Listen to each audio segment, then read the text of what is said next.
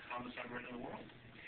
I'm talking about cities. I'm comparing cities with cities. And this is happening in the islands. Uh, That's what I'm saying. You don't have the same violence everywhere. And even in the cities, and I'm not saying that Washington is violent. I love Washington. I live there and I feel very safe. It's a beautiful city. But all the big cities have areas where you don't want to go to. Countries have areas where you don't want to go to. And that's what I'm saying. If people go to our main cities, they're going to feel safe. And it's a beautiful country and they're very warm uh, Colombians waiting there to receive them. Well, thank you very much, Ambassador Barco, for joining us. Thank you very much.